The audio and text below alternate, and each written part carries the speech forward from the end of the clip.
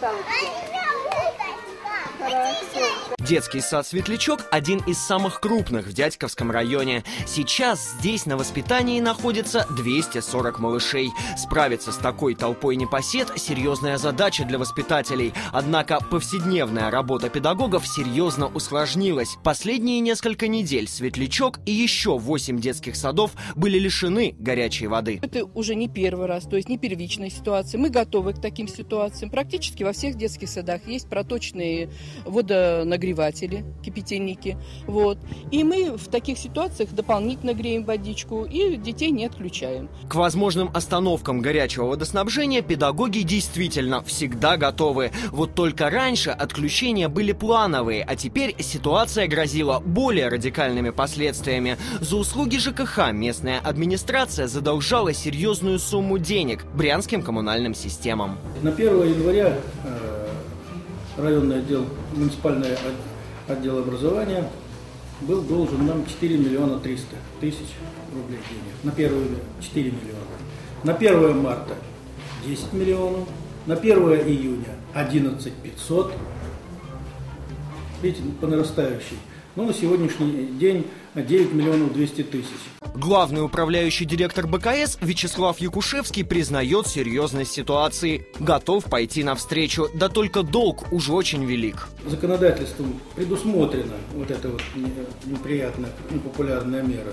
В принципе, мы начали с того, что предложили ограничить потребление тепловой энергии в виде горячей воды. Просто вот, ну, нет денег, берите меньше, говоря простым языком это не, не было выполнено. Кто же должен был решить проблему? Ответственные чиновники на тот момент находились в отпуске. В результате дело дошло до того, что скорейшего разрешения ситуации потребовал найти сам губернатор Николай Денин. Я попрошу, э, Александр Иванович, отозвать с отпусков вот этих э, чиновников, э, работодателям высказать, и чтобы они приняли соответствующие меры.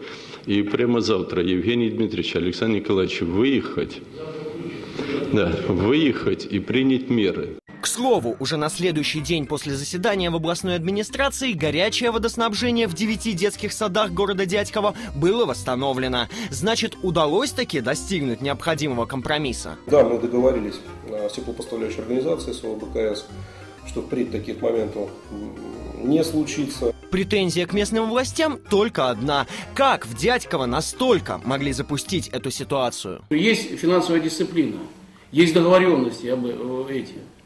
И вот то, что случилось э, по городу, это, то есть по, по городу, да, это, конечно, из рук он выходящий.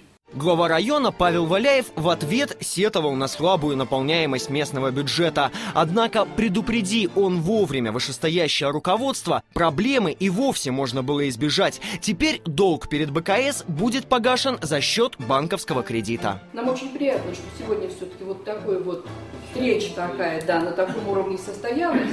И услышать о том, что на будущее мы все-таки не будем страдать, не мы, а дети. Чиновники и коммунальщики в один голос заверили, эта проблема больше не повторится. В конечном счете, детский сад не место для взрослых игр. Виталий Гримов, Игорь Сусло, Александр Друсинов. События. Брянск. Дядьково.